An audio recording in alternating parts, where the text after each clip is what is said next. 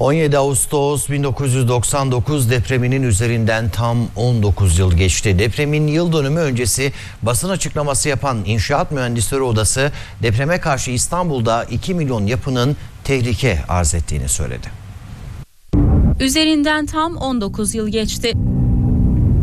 İnşaat Mühendisleri Odası 17 Ağustos 1999 depreminin yıl dönümünde basın açıklaması yaptı. 1999 depremi baz alınırsa anlaşılan o ki Türkiye'nin ancak 30-35 yılda yapı stokunu güvenli hale getireceği tahmin edilmektedir. Açıklamayı yapan İnşaat Mühendisleri Odası Yönetim Kurulu Başkanı Nusret Suna, İstanbul'da bulunan yapıların büyük tehlike arz ettiğini söyledi. İstanbul'da bulunan yaklaşık 2 milyon binanın yarısı aynı şekilde tehlike arz etmektedir. Suna, Türkiye ve özellikle İstanbul'un depreme dayanıksız olduğunu vurguladı. Bu yapıları kullanan, buralarda yaşayan insanlar can güvenliği tehlikesi altındadır. Nusret Suna İstanbul'un deprem açısından en riskli 10 kent arasında olduğunu hatırlattı. En riskli 10 kent arasında bulunmasından dünya ölçeğinde sağlıksız kentler sıralamasında 89 kent arasında 88. sırada yer almasından sadece inşaat mühendisi olarak değil